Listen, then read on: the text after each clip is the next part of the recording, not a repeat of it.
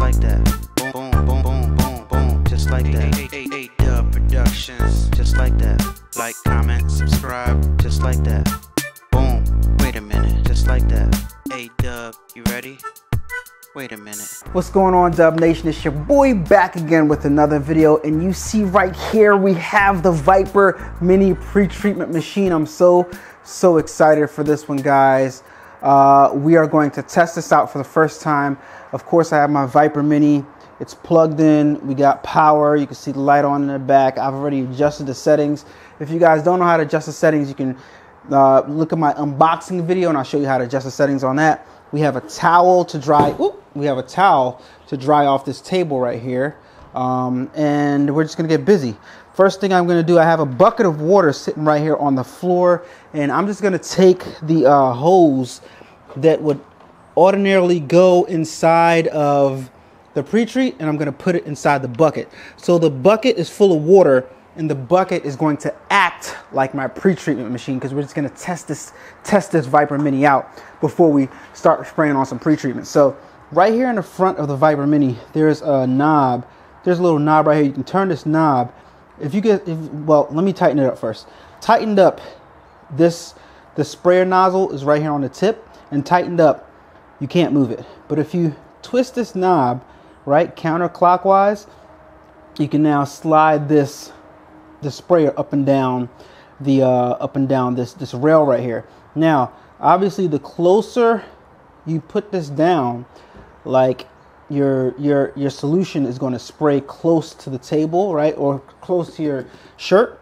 And if you put this up, it's going to have a wider spray. All right, so we're just going to play around with it and to see like I'm going to put it right now medium distance. So I'm going to put this right here about the to the number 14, and then I'm going to tighten it up and now that I tightened it up, you can see that this sprayer is not moving anywhere. Just gonna move this to the side for right now, and then we're gonna do our first spray with the Viper Mini. So before I start, I wanna tell you guys, break this down again and what we're doing. The water, we're pretending that the, like the water is our pre-treat solution, and we're just gonna spray it on the table to see how much coverage this specific height gets us, all right? So I'm just gonna sit the Viper Mini down right here, and I'm gonna just test spray first and see I'm gonna push push this button right here and hold this with my hand. With my hand, I got the the uh, hose of the Viper Mini held with my other hand right here, and I'm just gonna push this down and see how much coverage we get. Just pressing it down. Okay, now see water coming out. All right, so it had to it had to suck some water in, and I just want to see how much water is gonna go in. So now I'm gonna um, spray it down, guys I gotta be honest with you. Um, being 100% honest with you guys, this is putting down a lot of pre-treat and it makes me think like I haven't been putting down enough pre-treat, but I have to go do some research and see how much pre-treat I'm supposed to be laying down because that might be too much. All right, but it looks like it's not covering enough space. So I'm just gonna untighten this and raise this up a little bit above the, like up to right here and then we're going to try it again to see if we get a wider area of coverage. All right let's see it now. So hypothetically my hands on the top of the viper and hypothetically there's a shirt laid down underneath here and i'm just going to push the button and let so you guys see uh, the coverage of spray of pre-treat in this case water that will be laying down. Here we go.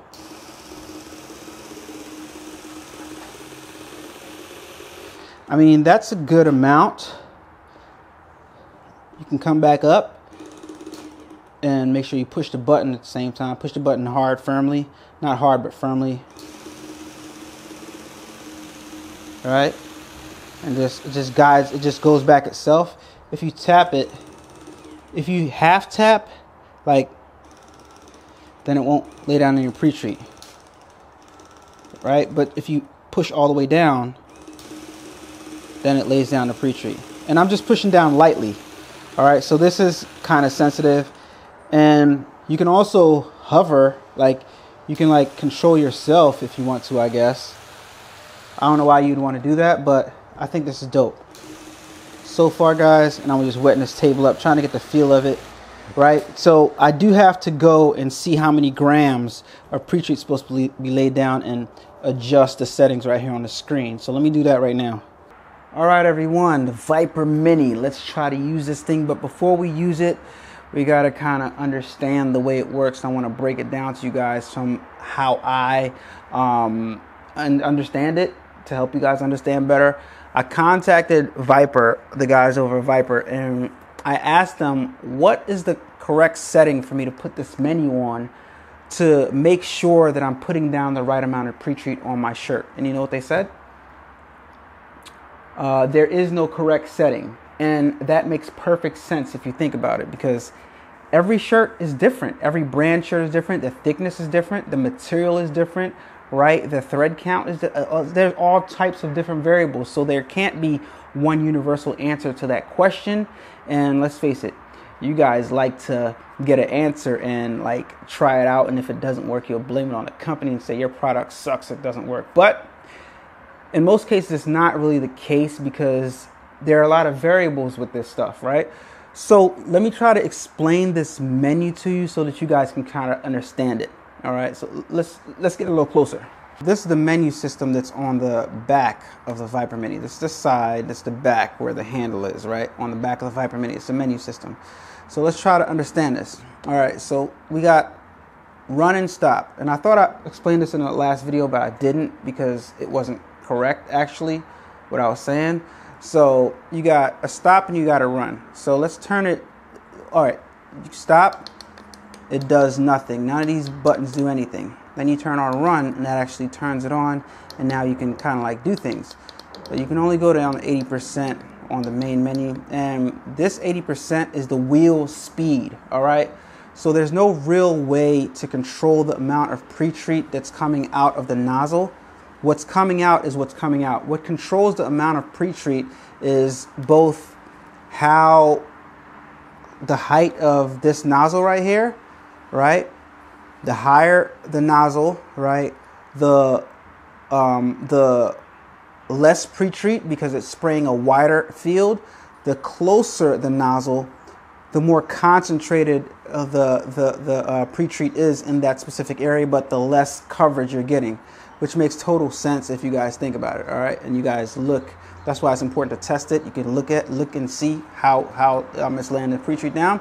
So now, let's go a little bit further. i am going to leave this at 100, right? You could just play with it right here and leave it on 100, and like have and, and use this right here if you want to, but the problem is you can't. You can only go to like 80 as far as the wheel speed is concerned. But if you go into the menu system, right, you press menu. Now, the only thing that's changed is this number right here. You got the same percentage type of number, so you can dial that all the way up to 100 if you want to, right? Same percentage as was right as in right here, same percentage, right? Only thing that's changing is the number, right? Um, you got you got a one point, right? Think of this as user number one or setting number one. Setting number one. Setting number one, person number one, myself, likes to this for this wheel to turn at 80% speed. All right. Setting number one, I like this wheel to go at an 80% speed and I'm gonna manually adjust the height, right? So setting number two, this person likes the wheel to turn at a 20% speed. So let me get you guys to understand what that looks like and what that means. All right, so first I'm gonna go to number one, which is 80% speed, and I want you guys to see how fast the wheel is turning. All right, when I push it, See how fast that's turning? Now if I go to number two and it's a 20%, that should be less, should be slower. Let me put it at 10% uh, so you guys can see it even better. 10%. Let me see. 10%. I'm just gonna I'm just gonna push the button and not the handle. All right. Now let me put let me just go up to 80% right here. Let's see. Matter of fact, let's go up to 100%. Let's see how fast it goes. And you guys tell me if you see the difference or not. Seems like it's going faster. Not significantly faster. Is it going faster? is it laying down more pre-treat? Let me see. Let me go all the way down to 5%. Yeah, it's definitely the speed. It's definitely the speed, all right? But you can't tell the difference on camera, but it's definitely the speed of the wheel, all right? PWM out. PWM. Power motor. I don't know what that stands for, but that's what that is. All right. So you got up to five different users that you can program the um, the speed of this wheel. All right. There's no way to tell this nozzle to spray out less pre-treat. Correct me if I'm wrong in the comments down below if you have one of these, but I don't think I'm wrong because I've played around with this for a little while now. So at the end of each day, guys, at the end of each day, you want to clean out your machine. And the way to clean out your machine is you take this, the no, the nozzle, the hose out of the bucket, right? Can you guys see that? Take the hose out of the bucket, right? And then you just take your device, you hold something up to it. In my case, I'm going to hold it to, to the bucket right here that I got down below here. So you can't, you guys can't see that. Let me, um, let me move this table out of the way a little bit so you guys can see it. So I got a bucket right here doing stuff on the fly. So I'm just gonna hold my machine up to the bucket so the water can spray in the bucket. And right here, there's water in, in this hose. So to clean this out, you gotta dip it in some water and just spray it out so that all your pre-treat comes out of the hose. All right, if you don't do that, and the pre-treat dries up in the hose and it dries up in the system, it could damage your machine. So that's really, really important. See how it's splattering right now? It's splattering because it's not getting any more pre-treat, or in this case, it's not getting any more water because I'm cleaning it out because we're about to lay down some pre-treat on my setting, which is setting number one at uh, wheel spin 80%. All right, it's getting a little complicated now, I know, guys, but let me go ahead and set my machine up the way I want it to be right? And I said setting number one at 80%. All right, so now that I know what I want my machine to be at, right? I'm gonna go ahead and I'm going to get my pre-treat. I'm gonna shake it up. And then I'm gonna dip my hose inside of here of my pre-treat stuff right? You want to make sure it stays down there, right? I'm shaking it up, dip my hose inside there. I'm going to sit this on the floor, make sure it's secure somewhere. And then I'm going to take this nozzle and I'm going to hold this up to the cup so I don't waste any pre-treat. And I'm just to prime it. I guess this is priming it. You just uh, push this button right here. Make sure the back wheel is up so it doesn't go anywhere. And you just fill the hose up with pre-treat machine with pre-treat solution while this catches the access so you can pour it back in a bottle and not waste any. All right, so let me do that right now. All right, so now you can hear it and you can see the hose is filled with pre-treat. So can see the hose change color so you can see pre-treat in there. So now I'm just gonna take this access pre-treat and pour it back in our bottle right here. Waste not, want not, right? And this stuff is expensive. So pour it back in our bottle, waste not, want not. And now we're ready to pre-treat our first shirt. What they recommend you do is use this foam. I thought this foam was just used for packaging. They actually want you to put the foam at the bottom of the shirt. I don't know why. I'm gonna use it like they suggested for this demonstration, but let's face it, let's be honest, and I'm going to be honest with everybody. Everybody, you got to be honest with me. Most of us are just going to lay it down and pre-treat it. Let's be let's be real.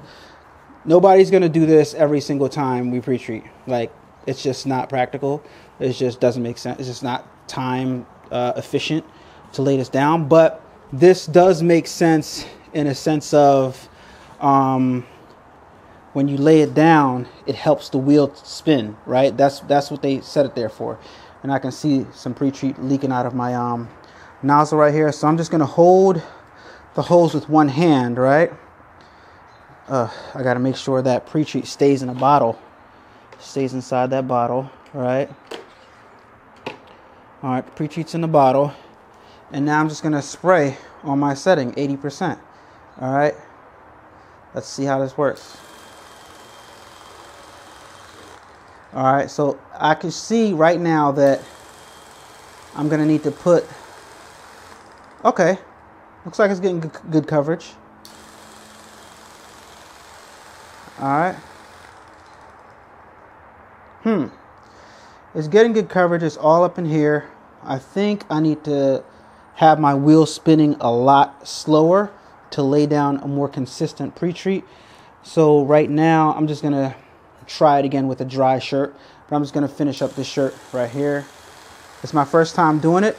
I can't say and the shirt is drenched, guys. The shirt is drenched. I can't say that I did it right. Let's just do another shirt for demonstration purposes, and I'm sure everybody wants to see it. I'm just gonna see how this comes out. This is how I would normally pre-treat my shirt before I got this. So let's see how we do as far as like with the wetness. I would go. This is how I'm normally pre-treating.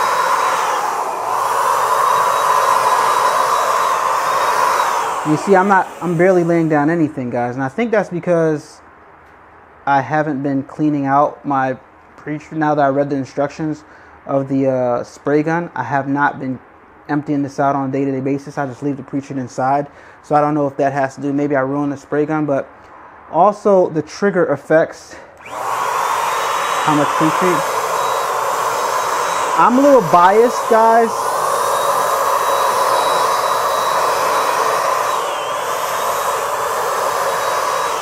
I'm a little biased because I've been using this for a while, so I can't give an accurate like comparison.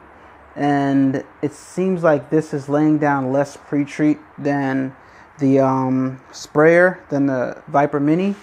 I'm not sure if that's a good thing, if that's a bad thing, but it does seem like I have to have more effort to put down the same amount of pre-treat. And also, there's no way that I can be as accurate with this as I can with a Viper Mini, but I gotta spend more time with a Viper Mini to be certain that I love it. I see some see some spots right here. Right. So overall, I think ultimately the question that we'd want answered is does the Viper Mini lay down pre-treat on a shirt more accurately than the Wagner spray gun? And I would 100% have to say yes because it is there is some there is a bunch of consistencies in this that this does just not have right? The the Viper Mini has a bunch of consistencies that the Wagner spray gun cannot duplicate because the Wagner spray gun you're holding it with your hand this you're holding it at a set distance away from the shirt. So that within itself is a whole lot more benefit. Um, it's easier to train, but whether or not I love it, I guess when you when I put it like that, whether or not I love it doesn't even matter because it's more accurate. So I think it'll probably be more beneficial for you to spend a little bit money, a little bit more money, and get the bigger Viper machine, but I can definitely see where this would come into play. It's very portable. It's perfect for somebody like me that doesn't have the space for the Viper Max. So, like I said, I would have to spend more time with this machine to give it an accurate review. You can't review, it's not fair to review something just on the first use because uh, you haven't spent enough time with it. But it is doing a better job at laying down the pre treat as you guys can see, than the Wagner spray gun, clearly. Um, there's a lot of variables. My hand placement, there's a lot of variables with that, right? So let me know what you guys think in the comments down below. Um, can't say I love it, can't say I hate it. It's not fair. I haven't spent enough time with it. It's my first time using it. So yeah, I got to spend some more time with it, and I'll give you guys an update um, in the next few weeks, right? If I have it, if I don't have it, you guys will see. You guys will know. So you know what I mean? And I'll and I'll, and I'll update with up, update you guys. So uh, it's your boy Allan Wade. Thank you so much for watching. This is my first time usage and kind of understanding of the Viper Mini pre-treatment machine. I'll talk to you guys on the next video. Peace.